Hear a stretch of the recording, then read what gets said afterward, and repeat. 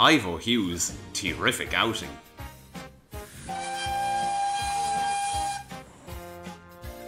Ivo Hugh was excited. It was the day after his naming ceremony, and he was eager to start work. Can I go out and do some work already? He asked the workman. Rheneas came alongside. Easy does it, Ivo. You still need to be checked over before you start. All in good time, he chuckled. Soon, Ivo Hugh's fire was lit and he chuffed around the yard. He was performing well, and the workmen were pleased. Nearby, Peter Sam was shunting. Morning, Peter Sam. He shouted eagerly. What are you doing? Oh! exclaimed Peter Sam. Hello, Ivo. You? I'm just about to take some trucks to the quarry and... Would you like some help? I could shunt them for you. Continued Ivo. Peter Sam wasn't sure. Oh, well... He began, but he noticed the young engine's eager expression. I, I suppose so. As long as the workmen don't mind. Ivo Hugh was thrilled, and he set off, roughly bumping the trucks into line. Has he ever shunted trucks before? frowned Henry nearby. No, replied Peter Sam nervously as a wagon flew past them. he's not even in service yet. Peter Sam was soon on his way up the line, but Cora wasn't happy. What were you playing at back there? You didn't need help arranging this lot. I know, sighed Peter Sam. but he was just so eager to start work. I couldn't say no to him. Fair enough, but tell him to be careful next time. He nearly shunted me through the wall. Peter Sam gulped and knew the old van was right.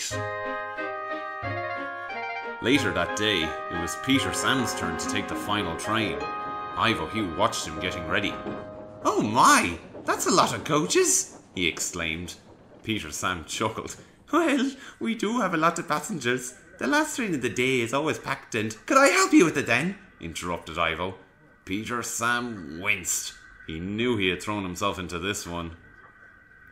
What's more, the passengers overheard and cheered at the idea of having the new engine on their train. Well, his safety checks are complete and he's due for a test run. pondered Ivo's driver. The station master smiled. Splendid. I see no harm in it then. You don't mind bringing him along, do you, Peter Sam? No, not at all, sir. replied Peter Sam meekly. As Ivo Hugh coupled in front of him with a bump, the older engine did his best to look as happy as everyone else. This is lovely! Cheered Ivo Hugh as the two engines travelled up the line. I'm glad I could come with you. He shouted to Peter Sam. It's such a lovely evening, too.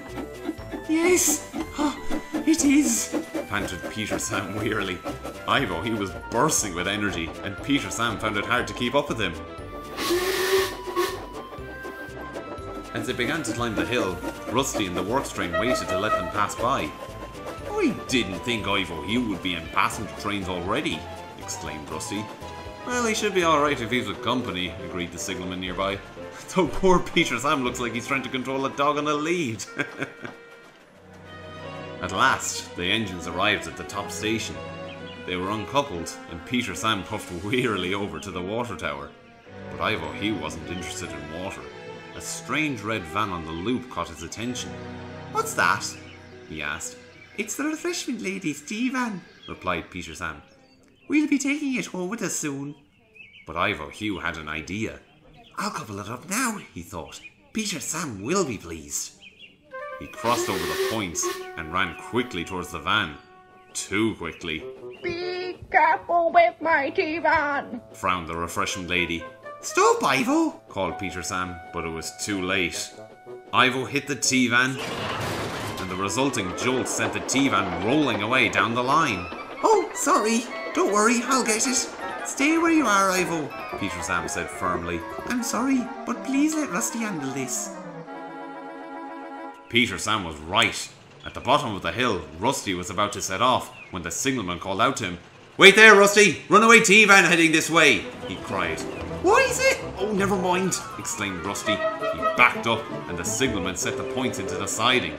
The tea-van rattled into view, but they didn't realize how fast it was going. It swerved into the siding, flew off the rails, and crashed into the workman's shed. Our tool shed.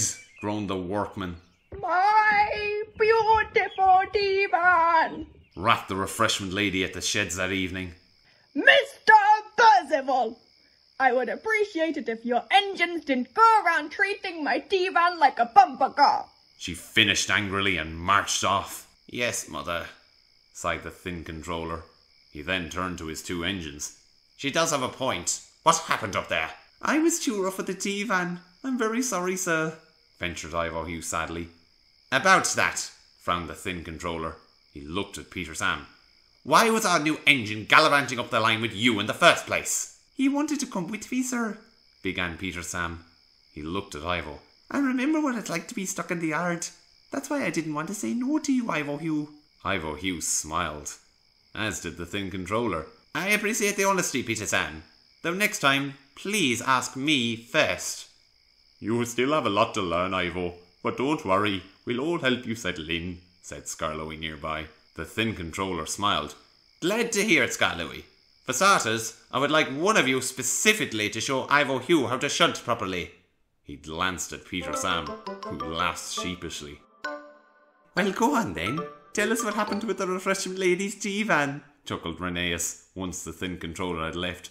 Yes, added Skarloey. You might as well spill the tea for us as well. Everyone laughed, including Ivo Hugh and Peter Sam. They knew they wouldn't be forgetting the day's events anytime soon.